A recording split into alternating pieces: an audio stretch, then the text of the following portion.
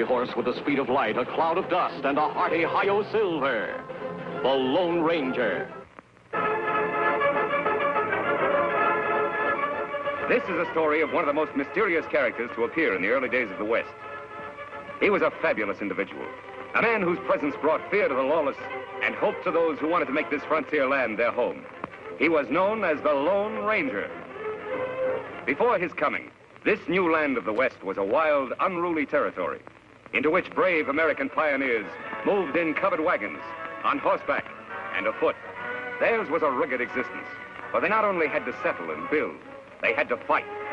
Here beyond the reach of law and order, might was right. The best shot was the best man. Born of necessity in this chaotic period of westward expansion, an organization was developed to combat the evil forces of the times. An organization called the Texas Rangers. Ever on the job of maintaining law and order, six Texas Rangers ride alertly across a western landscape. All are courageous, straight-shooting men. At their head is a stranger, a half-breed scout, who one day earlier had appeared at a ranger encampment, suffering from a severe wound. There you are, Collins. Nothing to worry about now. Thanks, Captain. I should worry about a wound. I'm lucky to be alive. You're right. Very few people are after those outlaws have struck. So they killed everybody at the trading post. Everyone. Mr. Simpson, his wife, the young Indian helper, even old Pete McHenry. That's too bad. How about the outlaws? Any of them get shot? Four of them were in pretty bad shape. They had to be tied to their horses to ride away. I got two of them myself. Too bad you couldn't hit more of them. Which way did they go? They rode up north into the Badlands. That's pretty rough country. But with wounded men in tow, they can't travel very fast. We got a chance to catch them. But they have a five-hour start. Even if you overtook them, they outnumber you. Mister, the Rangers are used to long odds. How about you? You could use your help in locating their trail if you feel strong enough to ride. I don't need two arms to guide a horse. Besides, I've a score to even up, too. I'll go alone. Good man. Boys, pack five days' rations. You've got ten minutes to be in the saddle. Right. Bill, send Captain Reid to me. He's leading your detachment. Yes, sir. So came the half-breed Collins, who rides with a detachment of Rangers after the most ruthless outlaw band in the West, the notorious Cavendish Gang.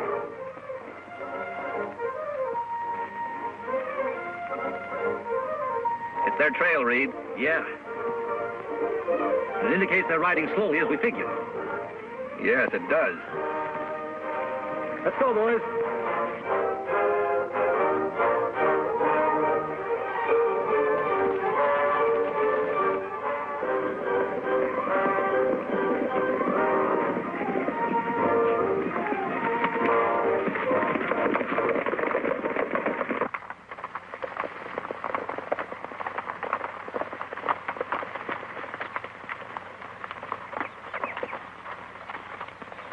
We've gained on them. These tracks can't be more than three hours old. They're heading off into that canyon. Yeah, it looks that way. Have you been in this vicinity before? A couple of times. I think it might be a good idea for us to check that canyon from the rim first. I'll go ahead and scout the place. One man would be a lot less noticeable than all of us going. All right. We'll wait here and give the horses a rest. Dismount, men.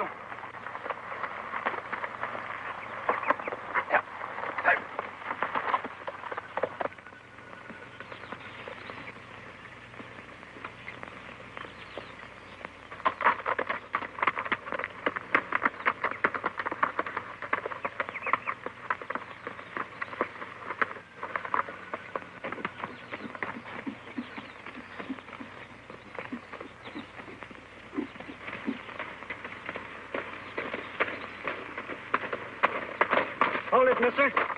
Reach. Hello, Whitey. Oh, it's you. The new man, huh? Yeah, it's me. How's the plan going? All right. The Rangers are back at the canyon entrance. You think they'll keep on coming? Sure, why not? They're pretty smart hombres, you know. Yeah. We've tried to get them before. Didn't pan out. I wasn't with you then. Where's Cavendish? He's up there a ways. Leave your horse here. All right.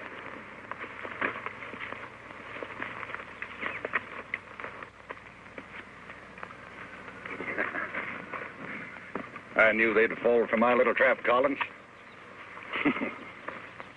that bullet I put in your arm really convinced them. Yeah, Cavendish. It sure did. When I get through around here, it's going to be a long time before any ranger outfit patrols in this section of the country. We're going to make this something they won't forget. Is the ambush all set? Take a gander over there.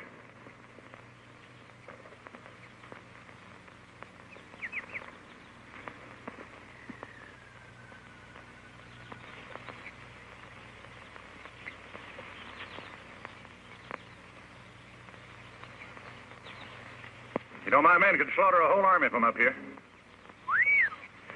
It looks good to me. Now, we're going to hold our fire until a lawman right in directly below us. Jerry, you tell the boys I'll shoot first. That'll be the signal to open up on the Rangers. Right. And Jerry, when a man goes down, I want lead to be kept pouring into him till he looks like a sieve. You got that straight? You bet. Go on, Blackie. All right. Collins, you're doing a good job for a new man. Thanks, Chief. Now get back there and bring on the Texas Rangers. Yeah, sure.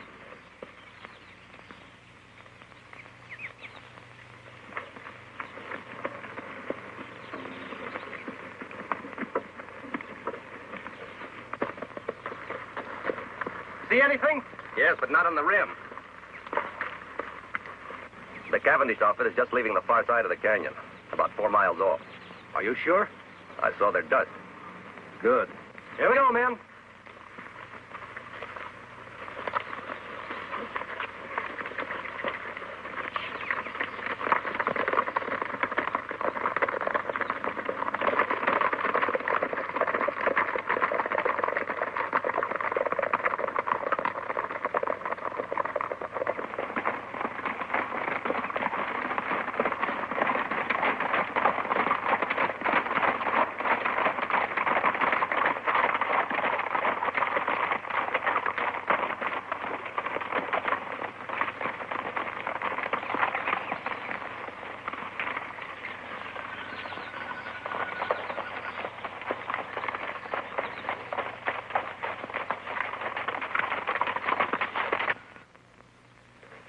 Have taken a wrong turn.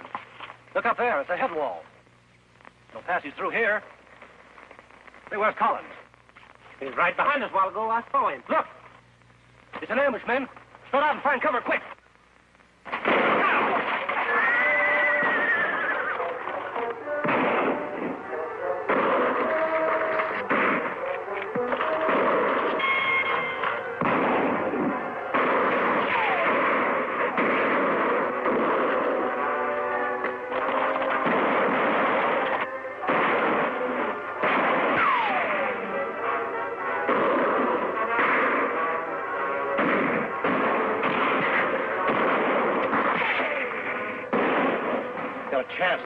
Traitor Collins.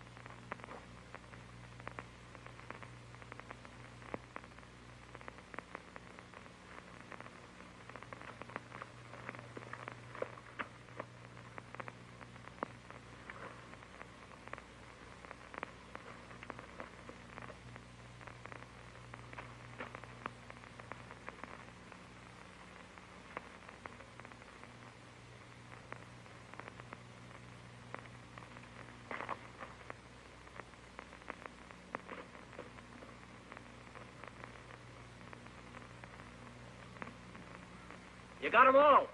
Good. Go on back to your horse. We'll wait for you up here.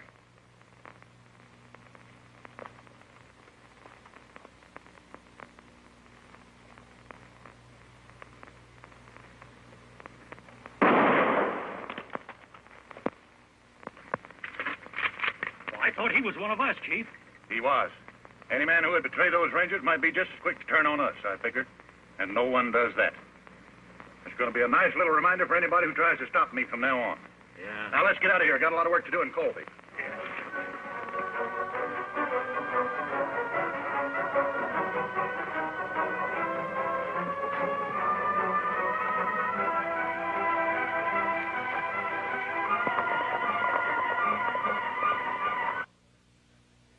Many hours after the Cavendish gang has left the ambush scene, a lone figure moves painfully over the rock-strewn ground. A small spring gurgling in a shady cave is his destination. He alone of the six Texas Rangers still lives. His one aim is to reach water and shade. Desperately, he fights off the weakness from loss of blood, which threatens to halt his progress. It is deathly hot. The sun beats down unmercifully. Ahead is that cooling, life-giving water. If his strength can only last. Foot by foot, sheer torture, he pulls himself along.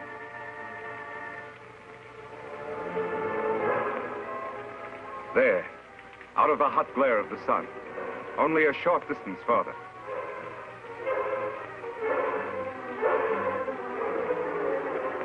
There's the spring. Now his bandana. There. Cold water never felt better. Never seemed sweeter than now. A hundred yards away, Collins stirs, unaware of the existence of the spring and the ranger who lies beside it. He too, miraculously, has escaped a mortal wound from a Cavendish bullet. And he too, like the ranger, knows that death lurks in the hot rays of the sun. He must seek shelter somewhere, quickly, within the confines of the canyon. Weakly, he stumbles off to find shade, to nurse his wounds. Then, as if timed by fate, a third figure, an Indian, enters the hot canyon. Surprised, he sees the results of the Cavendish gang's handiwork. Texas Rangers, sprawled in attitudes of violent death. These were men to whom heroic deeds were a part of each day's work. And now their work was done. Then, by chance, the native spies the figure lying beside the distant pool. He moves forward.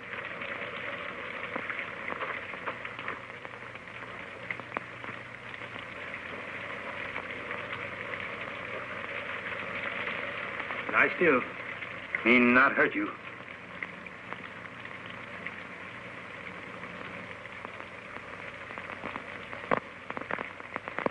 Why, you, you Kimosabe.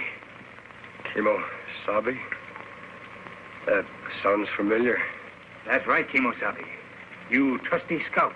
Trusty scout? Yes, Ranger. Long time back, when we both young. Me remember time Indian camp burned.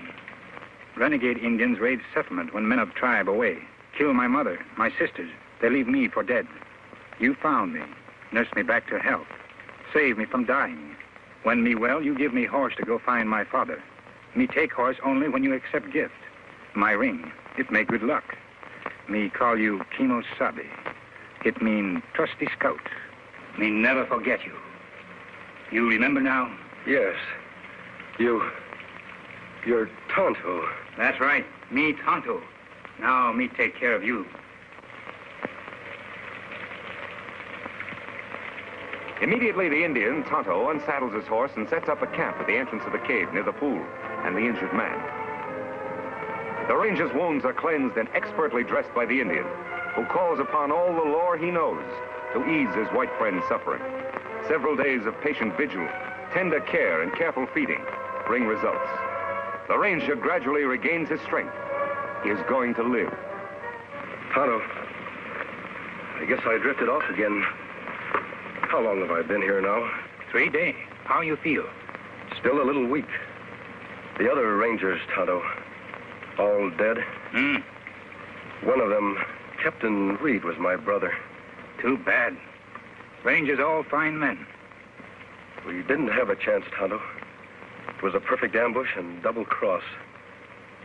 How did you happen to find me? Me hunt here in canyon often. Ride in here on scout over yonder. Find rangers and dead horse. I see. While you sleep, me bury other rangers over there. Make grave for men. Bring belongings here. That was good of you, Tonto. Them brave men. Yes, they were brave. And they won't be forgotten. I've spent a lot of time thinking. For every one of those men, I'm going to bring a hundred lawbreakers to justice. I'll make that Cavendish gang, and every criminal that I can find for that matter, regret the day those rangers were killed.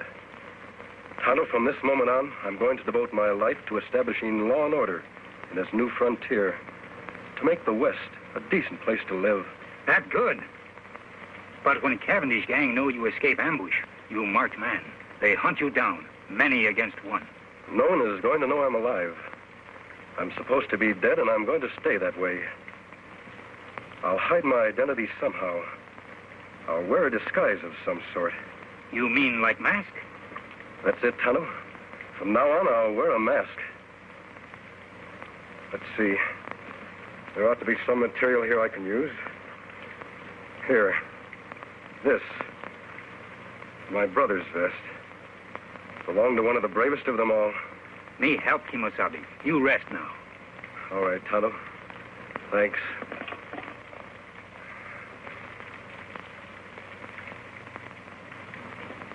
Their face wounds all healed now. Let me have the mask. There. It fits perfectly. Good job, Tonto. Here hat, me wash in stream, dry in sun, make whiter. Thanks, Tonto. Here gun to kill bad men. I'm not going to do any killing. You not defend yourself? Oh, I'll shoot if I have to. But I'll shoot the wound, not to kill. A man must die. It's up to the law to decide that. Not the person behind a six-shooter. That's right, Kimosabe. Well, there's just one more thing to be done. What's that? Dig another grave. Out there. Who that's for? That'll be my grave.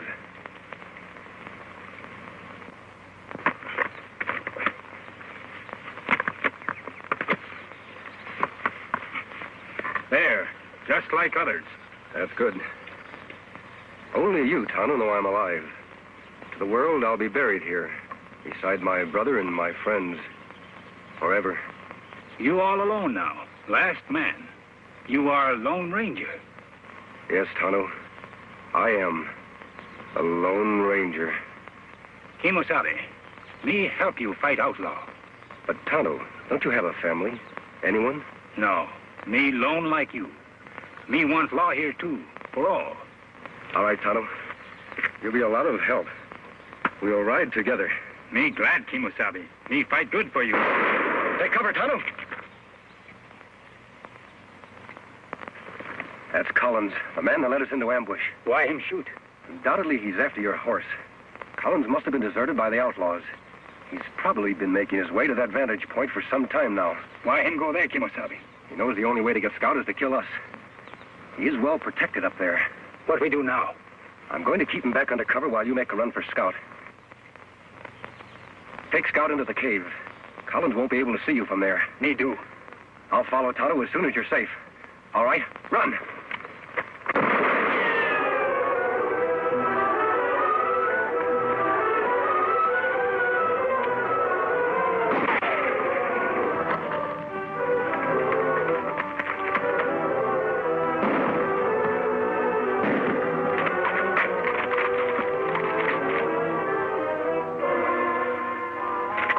You hit him?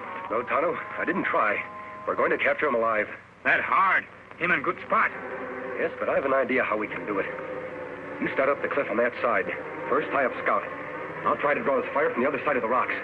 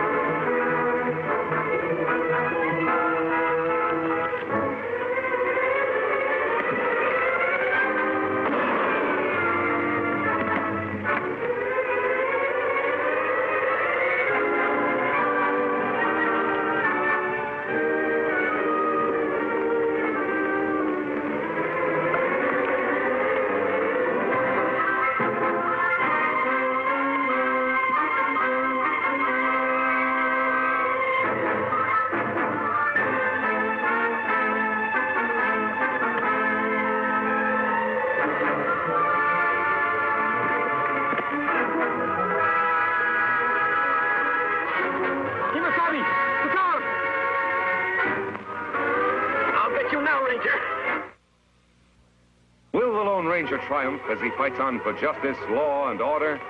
Be sure to be with us again.